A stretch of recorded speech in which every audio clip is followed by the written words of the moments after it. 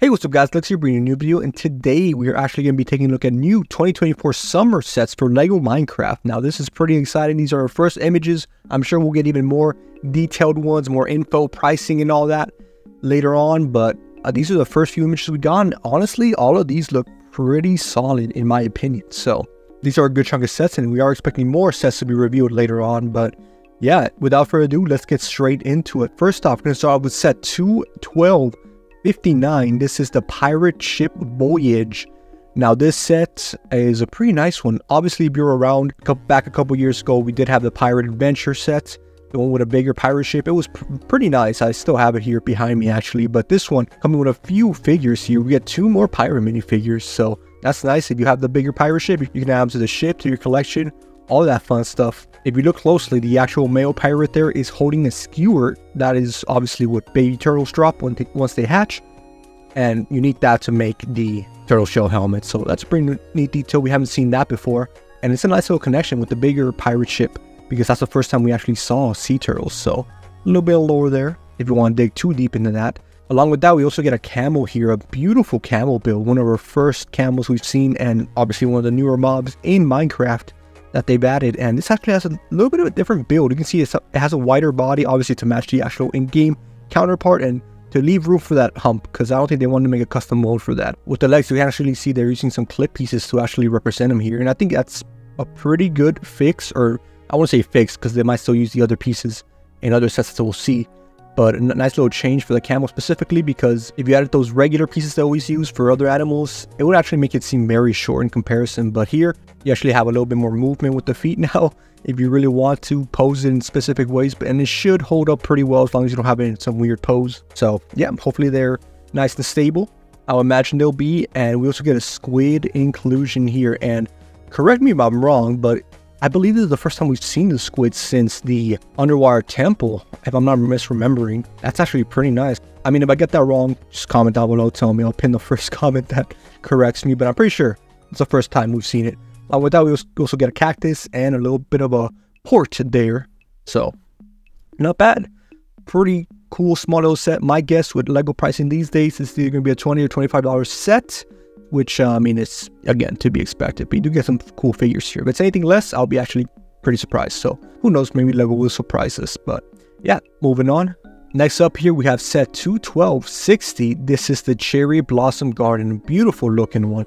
We don't get to see cherry blossoms too often. We've seen them in a couple sets, but here they're in full display. And it has a lot of new little features if you actually take a close look at it. Now, the obvious one being the sniffers. Here we have the big build and the tiny one. I was actually excited to see how they would represent this, and I think they did pretty well. Obviously, great detail with the big sniffer. I would like to see some like printed pieces on the side, like little tiles, but honestly, they did pretty good with what they had here.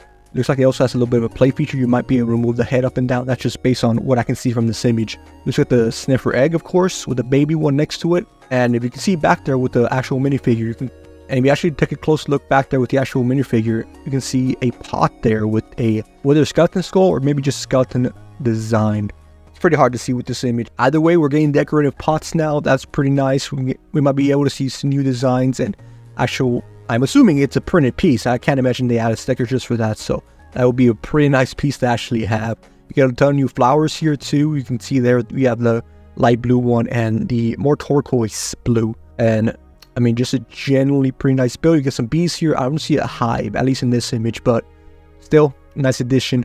Obviously, new figures are always welcome, similar to the last set, so I'm pretty satisfied with the theme so far. They haven't disappointed yet. While you can argue some sets are repetitive, it still obviously delivers on some front, for sure, it, whether it's new creatures or new figures. Speaking of, moving on to our next set here, this is set 21263, the Badlands Mine Shaft. Now, this is a pretty fun little build here, as you can see. We've already gone mine shafts and a pretty good one at that with the Creeper Mine Shaft before. I actually never got my hands on that set when it was out, so maybe in the future here I can get it.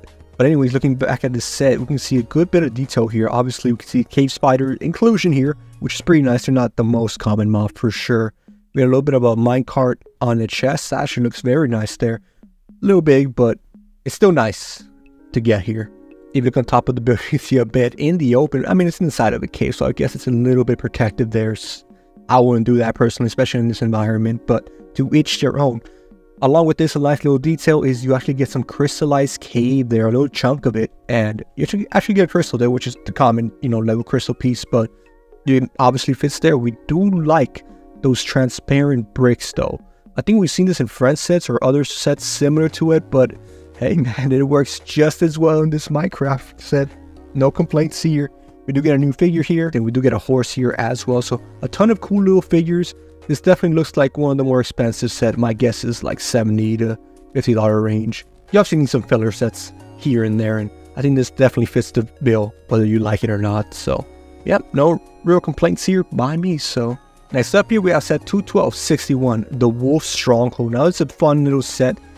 Obviously, you can see here, not too much detail. You do get the front of what appears to be a stronghold as the set describes it. You know how LEGO loves doing their creature builds. Now, while this isn't a full-blown one, you do get the head there, so that'd be pretty fun to recreate in game. And you do get a nice taiga wood door there. I mean, obviously, wolves are, you know, heavily linked to taigas. While they spawn in any forest, taigas are pretty common. I'd say you can find, find them there in the most commonly.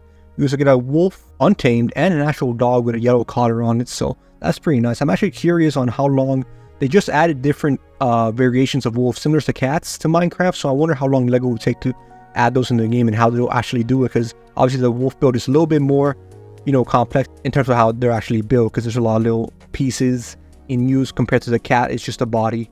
A pretty solid set, 312 pieces, looking like probably your $30, $35 set, and the actual figure here, it's not bad either. Nothing too insane, looks like a little bit of a Robin Hood type if you want to think of it that way, as well as a wolf shield is probably the most interesting part, and not a bad one.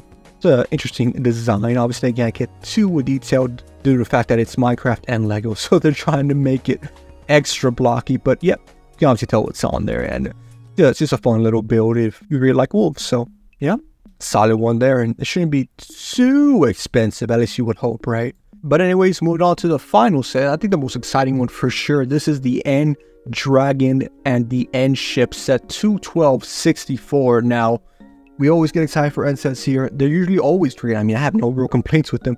You see, I have reviewed and covered every end set, and they usually perform well and are the most fun. So obviously there's a great correlation there. We do get a new Ender Dragon build. Now, this looks to be a little bit of a mix of the one from the $20 set with the exclusive skin and the original End Dragon that we used to see. You can see there the detail and size of it.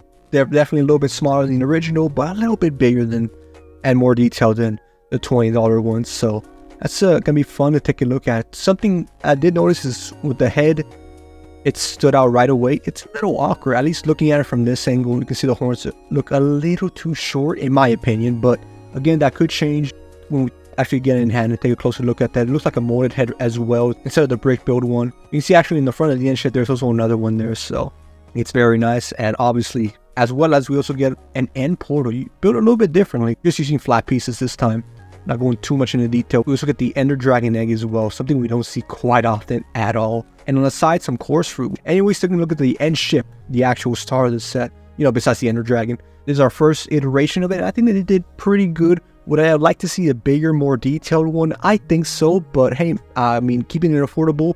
And something I was curious on is if it actually had an interior, because you know there's a little bit of good detail, obviously in the in-game one where you can go in and get some loot and see what it has to offer. But taking a look at other images here, it actually has a little bit of a small room. You can see they actually implement the obsidian floor. If you're not familiar with obsidian in like the middle of the floor, just as a straight line across leading to the other side of the ship. That's usually the room where you find the elytra on the iron frame as well as some treasure chests or, you know, regular chests with good goodies in them. But before that, on the way down is a staircase with a brewing stand. That's actually what they include here. They have a brewing stand there, which isn't bad. I, I like they at least have some detail for sure. If we're to get a small build, I want a little bit of detail. And they actually do that in little interior and it opens up pretty nicely. That's pretty nice how they include that.